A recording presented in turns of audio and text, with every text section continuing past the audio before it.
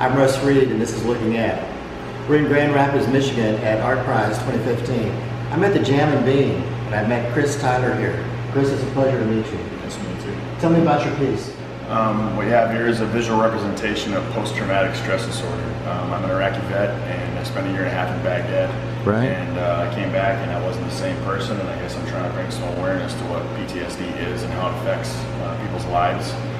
Um, to me, every every 30 minutes, a vet takes his life, and that's unacceptable to me. And end up homeless and on the streets. I guess I'm trying to be down here to help people understand that it is a real thing and it's very serious and to keep people aware of what's going on. When I came back from the war, I kind of felt like an alien to my own world, and that's why I use a spaceship and aliens. Um, it's, a, it's a good way for kids to get into it and adults to understand it. So, good crossover. When you come back from the war, you expect your life to be what it was, and it's just not. You know, you're not the same person. They're not the same, and because you know went through the experience and stuff, there's a lot of um, emotions and anger and rage and stuff that's inside of you, and, and your your happy home you used to have just isn't the same anymore. So that's why I caught on fire. Have the lasers there and, and stuff is kind of representation of the emotions and stuff that happens when you get back home.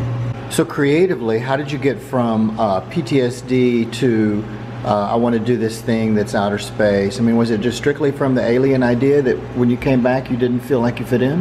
Uh, you know, it took me 10 years to realize what was going on with me. Uh, you know, I isolated myself from the world and all that stuff. And PTSD, you know, in the military, you're taught if you're weak, if you ask for help, you're weak. So I was trying to, you know, suck it up and drive on, like they say, you know, and it just got to the point where it was too much for me.